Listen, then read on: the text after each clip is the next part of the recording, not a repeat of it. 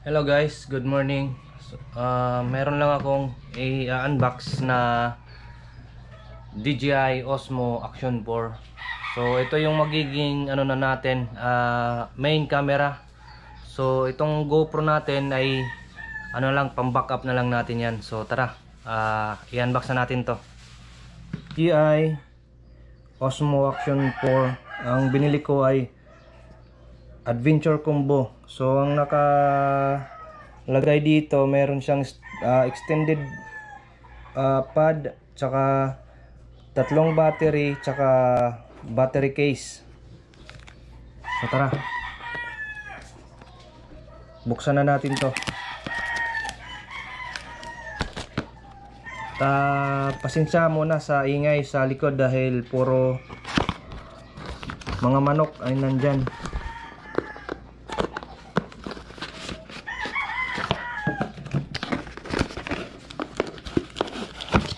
So ito yung stick pad niya guys.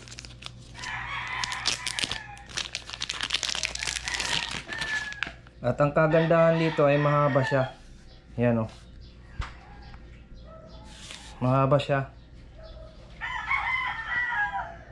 Pwede pang ano, pang selfie stick.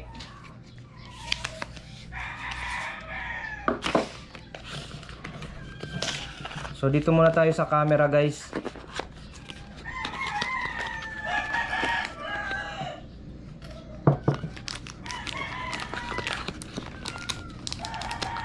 Gagamitin natin to ngayon papuntang ano uh, maliligo tayo ngayon. Hindi ko lang alam kung saan uh, Nueva Ecija or dito lang sa Porac.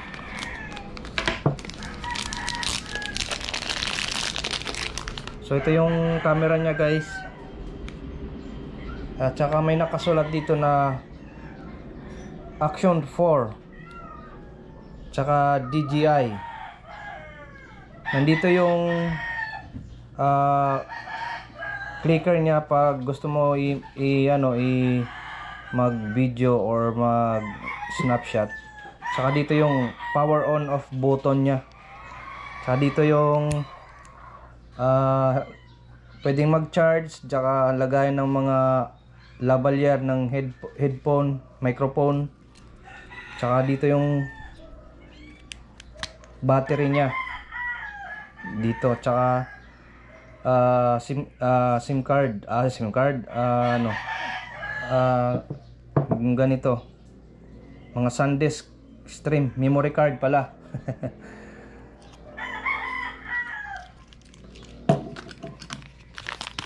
Ito naman yung battery uh, phone cage niya. Tapos may mga ano pa tawag dito, yung holder, mga action hold, holder. Dito naman tayo sa ano niya mga accessories niya. Ganun din uh, mga ano to uh, uh, holder lang ng uh, ano. Ang kagandahan dito guys kasi once na itong ano ay para siyang magnetic madali lang siyang i-belt. Gaganunin mo lang siya magnetic siya.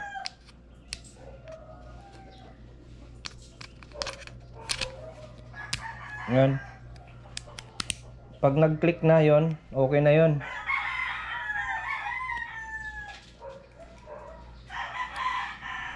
tapos dito naman sa cage niya pwede siya pwede siya pag ganon pwede siyang patayo parang sa cellphone yung nauuso ngayon. Yan pwede siyang ganon pwede siyang ganyan. Tapos ito mga ano lang naman to. Uh, accessories may mga ito pang charge. So ito ito ito yung sinasabi kong charging hub. Na maganda siya guys kasi tatlong battery pala to guys tatlong battery siya so try natin dito sa phone natin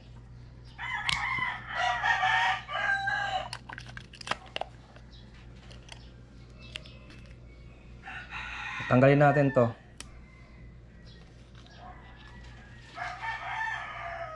Tapos i-on lang natin. Ito, dito tayo mag-on. Ay, dito na lang.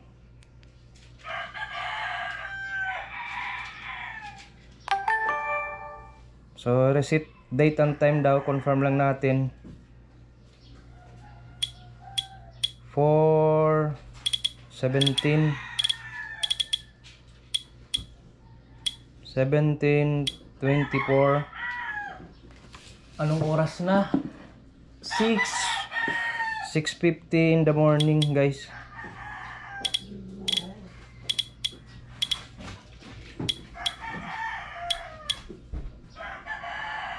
So ayan guys. So Naka 4K siya.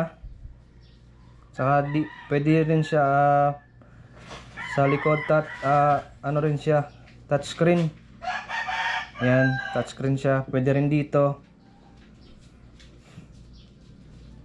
Try natin sa mag video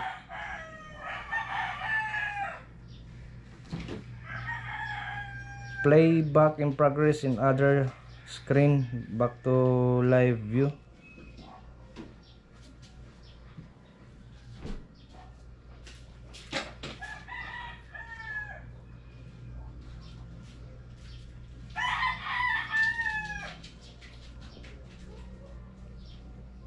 Yan. So try natin. So pag ganyan ah, nagre-red ay nag-ano na siya, nagbi-video na siya. Naka 4K 60 fps yung ano niya. Tsaka yung battery da, kailangan pala na i-charge natin. So yun. So pwede natin makita yon dito. So pag ganyan uh, naka ay nag-ano na siya, nag-video na siya. Naka 4K 60 fps yung ano yung battery. Malapad yung ano niya, yung screen niya, mga idol. So yun lang guys at uh, subuk subukan natin to ngayong araw na to. Papunta ng ano ng uh, basta maliligo kami. Mahala na mamaya kung saan kami maka, makarating. So yun lang guys. I-update ko kayo ngayon kung ano yung resulta nitong uh, review natin sa uh, Osmo Action 4 at uh, Oo nga pala wala pala tayong ano dito uh, microphone. Ah, asahan natin na hindi masyado maano yung boses natin sa pag nagmumotor tayo. Malakas yung sagap ng hangin hindi tayo magkakaintindihan at hindi magkakarinigan yung boses natin. So nag order pa ako sa Shopee siguro mga 3 days darating ngayon. Mga next ah, vlog natin ay makukumpleto ko na yon at uh, matetest na natin to. Okay let's go